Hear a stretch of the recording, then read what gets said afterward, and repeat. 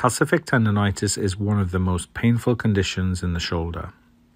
It's caused by calcium being deposited in a tendinopathic tendon.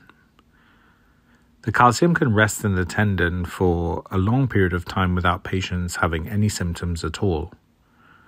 But at some point, the body recognizes this calcium as foreign and starts a reaction to break it down and remove it from the tendon. The cells that do this release chemicals to dissolve the calcium, and these chemicals cause irritation and inflammation to the tendon and the subacromial bursa. The onset of symptoms can be sudden. Patients often wake from sleep with it and is quite severe. The treatment of calcific tendonitis depends on the severity of symptoms if there is a sudden onset of severe pain, we often use a steroid injection into the subacromial bursa to calm down the inflammation in the bursa and the tendon, and follow this with some gentle physiotherapy to strengthen and rebalance the rotator cuff.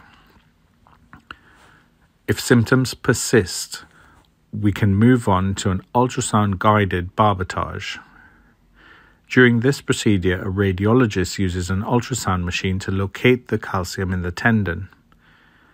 They then use a needle to enter the tendon and the calcific deposit and try to aspirate any liquid calcium and flush out any solid calcium, thereby helping to speed the removal of the calcium from the tendon. This is followed by a steroid injection and physiotherapy.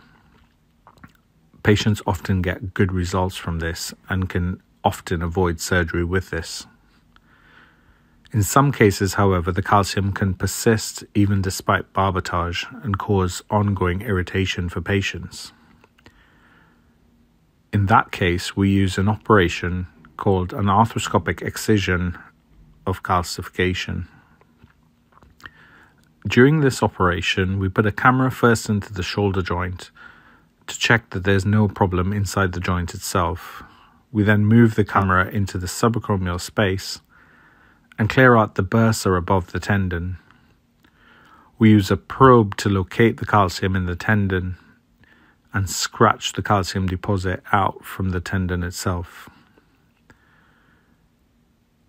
We then use the wand to release the coracoacromial ligament off the acromion and shave any spur off the underside of the acromion, thus giving the tendon space to glide without irritation.